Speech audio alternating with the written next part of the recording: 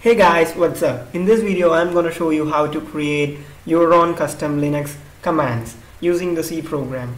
So first of all let's start by creating a simple C program. Let's name it as hello.c and inside that I'll be just writing a simple C program just to print something.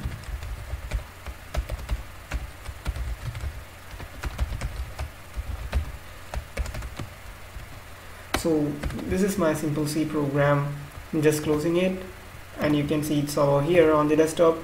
I'll be just compiling it just by typing in gcc space hello dot c.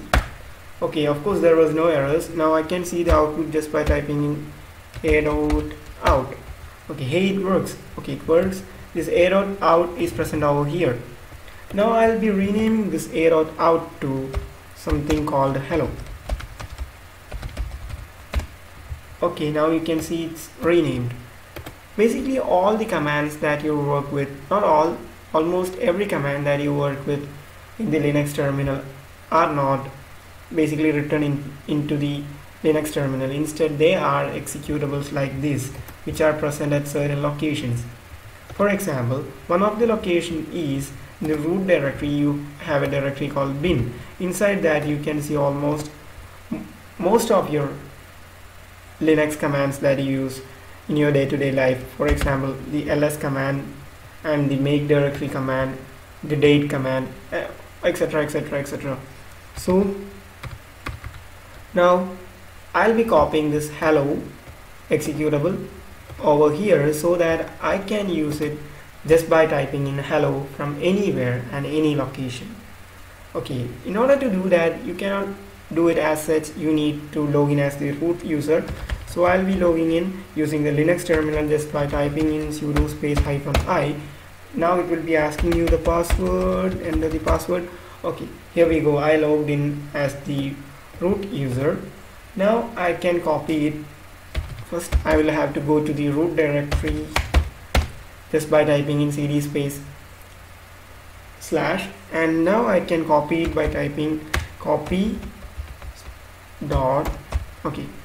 On the root directory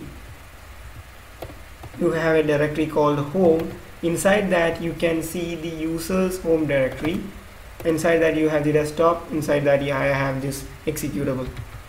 Now dot denotes the current directory. Current directory is slash home slash my uh, home folder and slash desktop. Slash the file to be copied is hello now the destination is dot current directory slash bin. Okay. Pressing enter. Okay it's copied. Now you can see over in this bin you have the hello executable present there.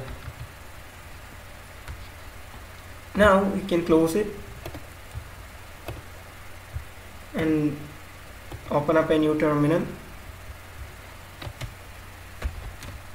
now type in just hello.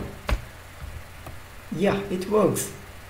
And now you can go move on to any directory for example uh, ls uh, you can move on to I'll be moving on to the photos cd space photos. Okay from there I'll be typing in hello. Hey it again works. So now after copying into this bin directory it works as you like. So this is the way to create your own Linux commands using the C program. Hope you guys enjoyed the video and if you have any doubts regarding this, you can just comment below this video. I'll be responding to it. Thanks for watching. Don't forget to like and subscribe. Thank you.